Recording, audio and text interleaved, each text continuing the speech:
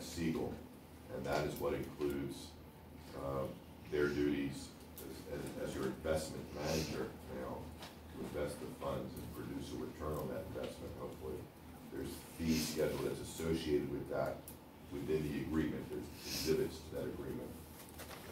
Uh, Delivery of reports and direct benefit custody agreement, well, the delivery of reports is just a reporting form that needs to be filled out, nothing, nothing vital there. Directed benefit custody agreement, custody is gonna be different than investment, the custody agreement is with Charles Schwab Trust, who's gonna actually hold all of your funds. And then the fee schedule that's listed is is Schwab's fees. So they charge a percentage of the amount, based on the amount of money they're holding for you. The investment manager's charging a separate fee. Um, All of those are ready for uh, your approval, unless you have questions. There's not a legally that you do, these are all boilerplate forms. Charles Schwab's not gonna negotiate their custody agreement with you. It's, it's, if you like it, you like it, if you don't, you don't. Need a motion or? Do we need to do individual, or can we do a whole for the police pension plan, A through F? Uh, The trust agreement's in a resolution form, if I recall right. I think I would do that one separate.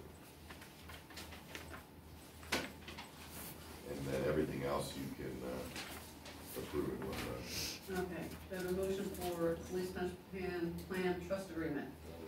Second. Motion and second, all those in favor? Aye. And do I have a motion for the police pension plan discretionary investment delivery reports directed benefit custody fee schedule account setup? Motion, Second. second, all those in favor? Aye. Non-uniform pension plan, is that what you're, Yeah, and on the non-uniform side, we're still trying to ascertain the the current plan effective date. Some of that information is held by BB&T, now Truist Bank. And so some of the spaces within that form are still blank. So uh, I think we need to just work on that and then revisit approving that transfer your next meeting. That transfer is a lot simpler uh, to do, they say, so they don't need as much time anyway. okay, So table that for workshop. yes. Yeah. MAA agreement, twenty twenty-two, Send it. have a motion, Motion. Second. second, all those in favor? Aye. Land development plans. Town affiliates, any update? My understanding on that one was Terry was delivering something to the magistrate. Is that true? I mean, that, that's what I had as a note from the last meeting. I don't know if that occurred or not. Okay, so no update. It seemed like that was, Webster Court? so Wexford Court, through contacts with him, uh, the short story, he wanted to move a light fixture. That was fine. Other than that, there's been no action. He he says the weather's been being pushed off for this, that, and the other. Um, Fence and all that stuff? No I don't, progress? Joan, do you know if Terry issued, uh, from what I understood from Terry, he was gonna issue a denial of the fence permit? Because it was for the fence, the, the wooden one. Yeah, I don't, I don't know if that progressed on the notice violation for that. Um, I, I think other than that light fixture saying he can move it, there's really been nothing. Um, He blames it on weather, but I don't know where you wanna go from there. Okay, and you're handling it from now, or is Terry still here handling it? Terry's gonna handle the notice violation having to do with zoning, but the rest of it, I mean, I've been kinda running with it, and at this point, there was a letter sent by Eric on December thirtieth, I believe it was, Mhm. and really, other than discussions, there hasn't been any action. So what do we do with no action? He's in default, so the next step for the zoning ordinance violation is the filing of a complaint. He did not appeal that initial one. Um, I guess he's applied for a permit and that was denied, so he can appeal that if he wanted to. But I think the next action for the zoning enforcement is for authorize Terry to file a complaint with the Madison District I Judge. thought we did that. Uh, with him, that's, you've done it for others. Yeah, for this one, it was a notice violation for the, the permit, or the fencing, I'm sorry. Yeah, but he, he came, he was on Zoom, wasn't he? Didn't didn't he talk to us and we told him we're done, we're, we're, we've given you enough time? And you held him in default. The default notice of the development agreement gives him thirty days to cure. That was done December thirtieth to January thirtieth. He's not cured it. So The next step under your development agreement, if you want to do that, is to initiate a civil complaint in the court of common pleas with the equitable relief requ- required in order compelling him to take action to bring his development up to compliance. Okay, so what do we do, who who do we contact? Do we need to go through Terry, or you We need to go through Terry. It's both. It would be Okay. me to do a civil complaint for the breach of contract. It would be Terry to do the zoning ordinance violation with the Magisterial District Court. Was Terry planning on coming, he just couldn't come, or, I Couldn't come, from what I understand. I mean, with some of this stuff going on, we almost gotta have him come, come to the meeting so we can discuss some of this stuff. Well, I think, I think to the point of this one, if he's in violation of that, or if he's, But they, they've drugged their feet on a lot of this stuff too, I mean, how much stuff has Eric gotten together too in the past that they drugged their feet on? You know, he's claiming whether I've been copied on some of the emails back and forth. He had a visit with his engineer scheduled, or his structural engineer scheduled for some day last week or two weeks ago. January twenty-first. And What, I'm in last conflict. year? Okay, so who, do we send those to Terry to tell him to move forward with the civil? Yes, who, I would, Joan, can you, can we do that, or? Is that us or you? Make a motion to authorize Terry to file the complaint with the Magisterial District Court. Made it. Motion, second, all those in favor? Aye.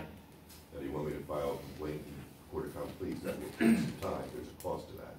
Or do you wanna wait two weeks and see if he's back in line? and Does he whether still have his escrow?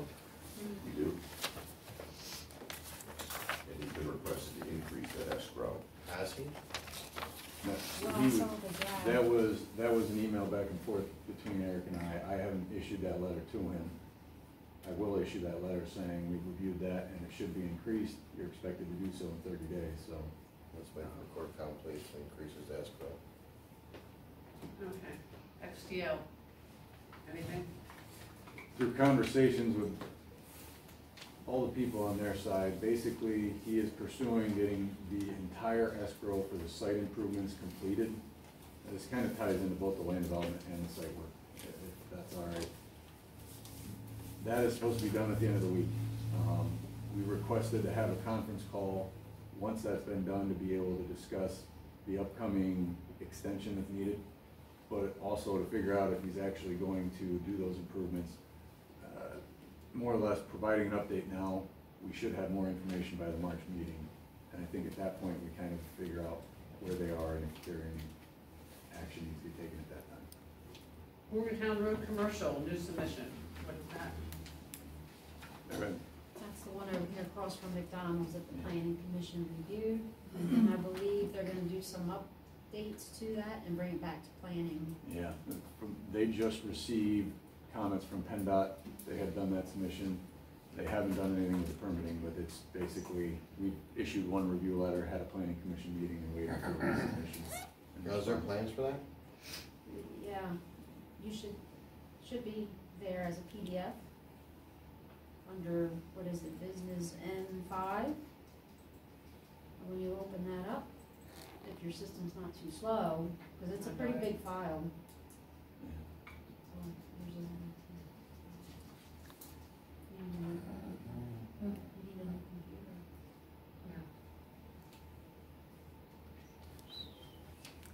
Yeah, but I found that the flash drive they gave me, it was really hard to read, for whatever reason, it's a very large file and takes a little bit of time to read. Okay, so this is just information for us, we don't need to do anything. No, I mean, we have hard copy plans in the office, but I figured I'd do this format so that, Right, at least now we have, at least see everyone it. has their information. yeah. Okay, Honeybrook Road Maintenance Agreement, draft. Was anything updated on that, or did you? Keith and I are supposed to talk to Eric sometime Tomorrow. tomorrow. Okay. And then stormwater driveway pipe items update, North Twin Valley Road. I think the short of it is, I, I went around with Keith recently to start looking at the stormwater issues. I think trying to wrap, uh, wrap my head around the ones that are out there, there's quite a few. I think the ones on here are somewhat of the priority, but I think as we hit those, I'll add those to the engineer's report and really kind of update as we get moving on them. Okay. Um, So you wanna hold up on all of these till the engineer's report, or, I don't know if there's any update to provide. okay, three seventy-one Swamp Road, Which date's on the fifteenth? Ninety-one Broad Axe Pass, nothing new there, Shiloh, California, nothing. Settlers Trail, Detention Pond follow-up. It was just bringing Scott up to speed on that, I don't, and that just happened Friday. so. Okay. Sunoco agreement update. I reached out to them. Uh, The agreement that was